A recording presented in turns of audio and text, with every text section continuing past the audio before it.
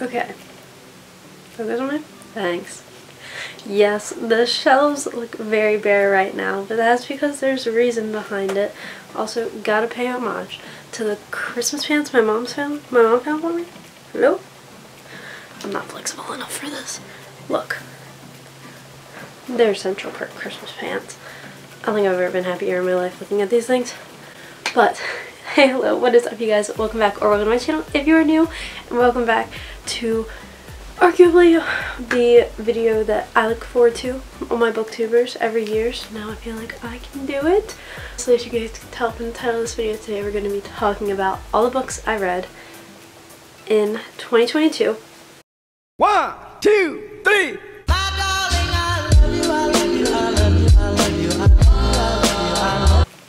These are vaguely in order, not a thousand percent, but I'm gonna give you guys what I can remember. So, yeah, let's let's get into it. I'm not gonna tell you guys what these books are about because there are way too many. I read so much more than I thought I did.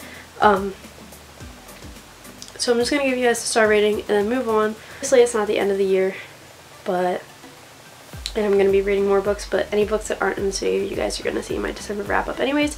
So, the first book I read of the new year, which I can't even fathom the fact that this came out almost a year ago. Him by Colleen Hoover was the first book, gave it five stars. Uh, obviously, I don't know if I would give it five stars now, but for the time being that I read it, it was a five star read. Loved it. Um, one of the last Coho books I actually ended up really liking. The next book that I read was the should I go this way for all my books? The Score by Elle Kennedy. This book I gave a 5 stars. This is the third book in the off-campus series. Really, really like this. This is one of the series I ended up finishing this year. Also, love the old copies. Hate the copies by Bloom. We'll get into that when you guys see those copies. What I believe is the third book that I read of the year is It Ends With Us by Colleen Hoover, and I gave this book a 4-star read. I really liked it. Um, yeah, it was a fun time. Well, I think it's bad to call it a fun time. It was a good time to read.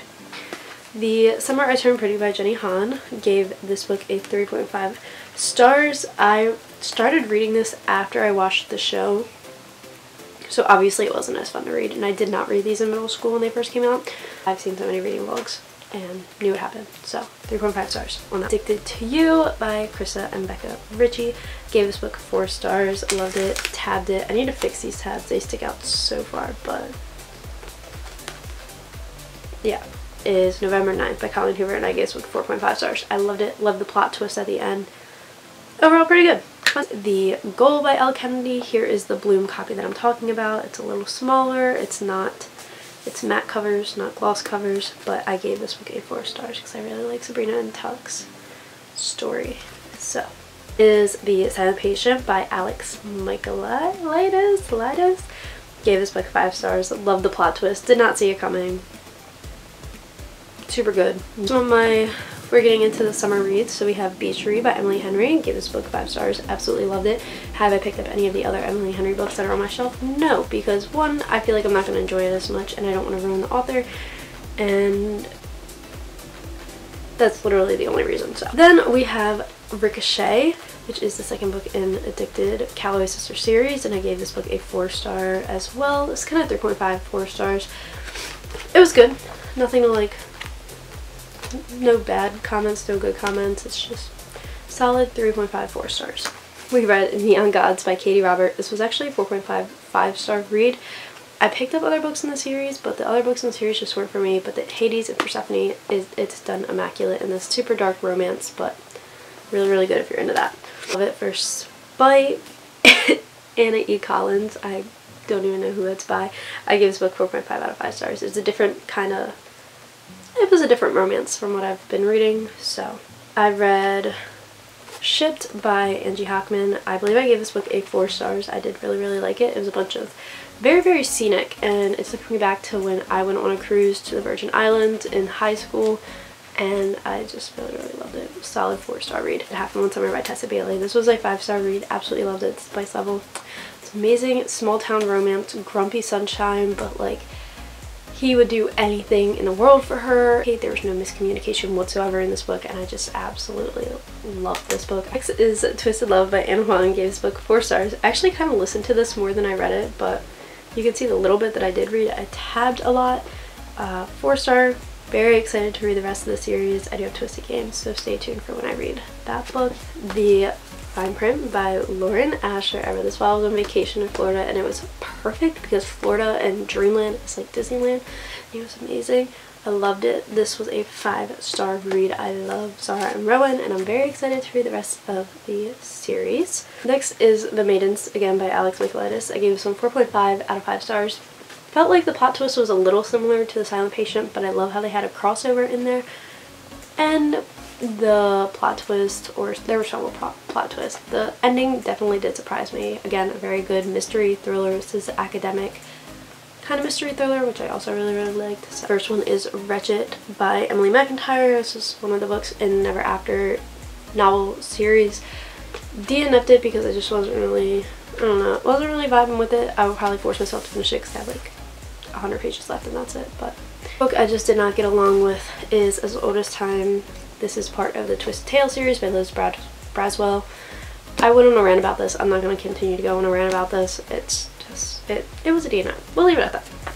Good Girl Bad Blood by Holly Jackson. This is probably very surprising for how much I love mystery and thrillers and this is a YA mystery and I loved A Good Girl's Guide to Murder which I think I also read this year but I definitely did um, but we're just gonna I guess skip that.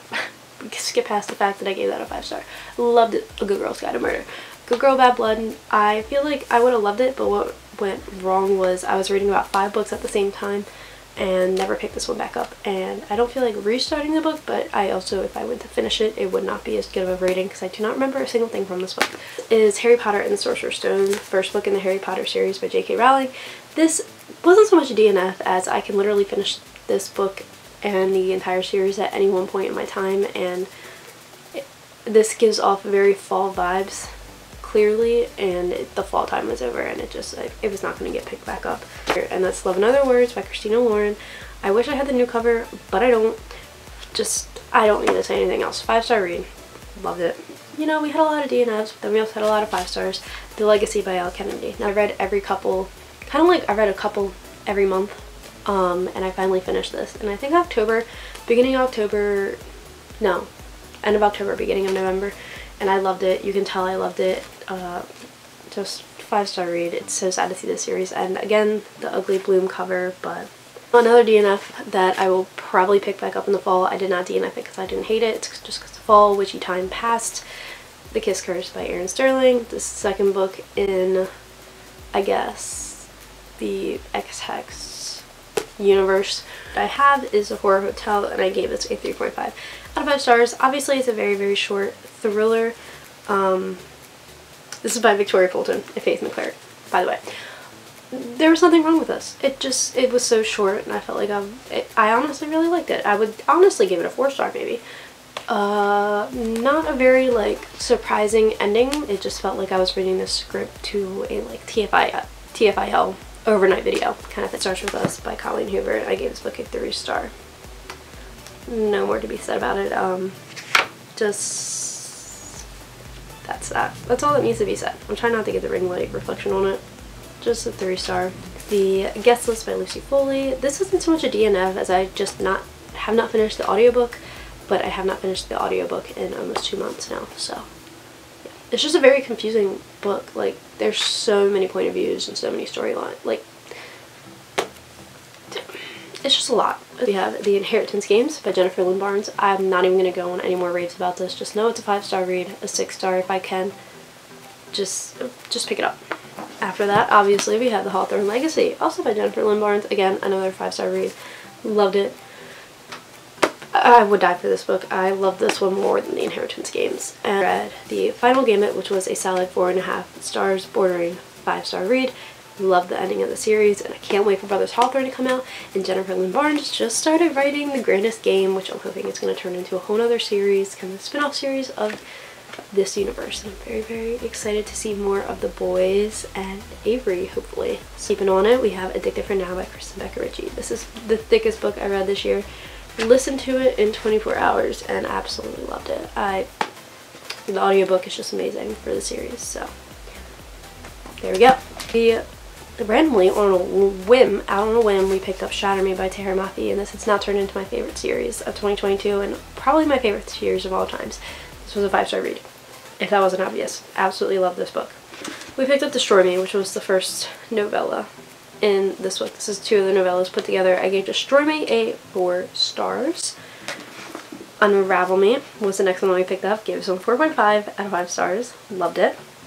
Then we picked up the second one, the second uh, novella in this, and that's Fracture Me, and I gave this a 2.5 out of 5 stars because I hate Adam with a passion. Another DNF, and that was All I Want for Christmas by Wendy Loggia. Um, this just was not for me. I'm sure if you are a younger audience viewing this video, you would absolutely love this Christmas romance, but being that I'm 19 years old, this was just not, I'd give this a middle grade romance, not even a YA romance. It's very YA. So we jumped back into the Fracture Me series and we read Ignite Me. This book, a million, a million stars out of five.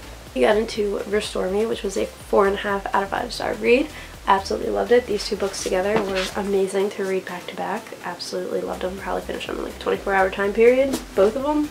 Absolutely loved it. Then we got back into the novellas.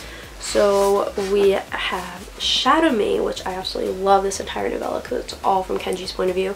we have Shadow Me, which I gave a four star rating.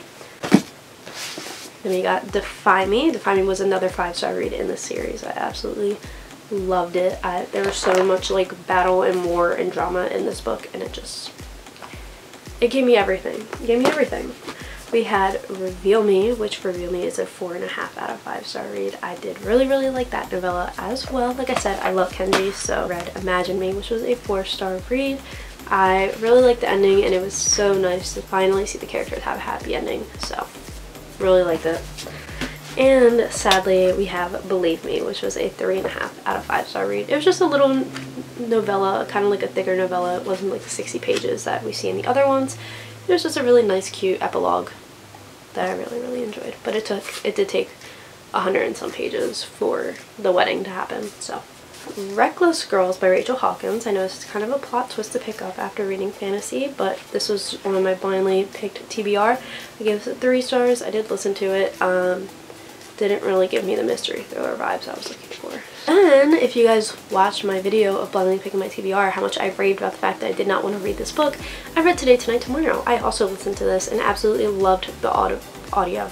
I loved the audiobook. I gave this book a 4 stars. I 4.5. Honestly, loved this book. I didn't think I would, but I did. I Want for Christmas by Maggie Knox. This was a 5 star read.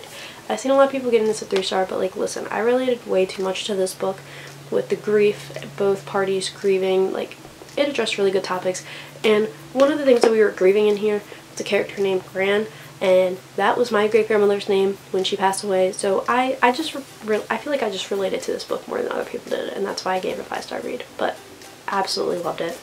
The last book that I have picked up so far of the 2022 year coming to a close, which I just finished last night, was The Holiday Switch by Tif Marcelo, and I gave this book a three star. Obviously, it's a short romance, so there's not much to take away from it. I thought it was good. It was a solid three star holiday read. Nothing bad about it.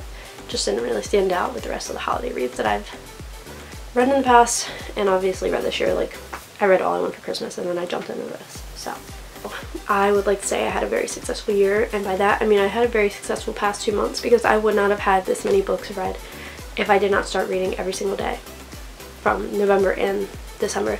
But that is it for today's video. I hope you guys enjoyed. Be sure to stay tuned. I should be at least putting out one more video before the new year rolls around.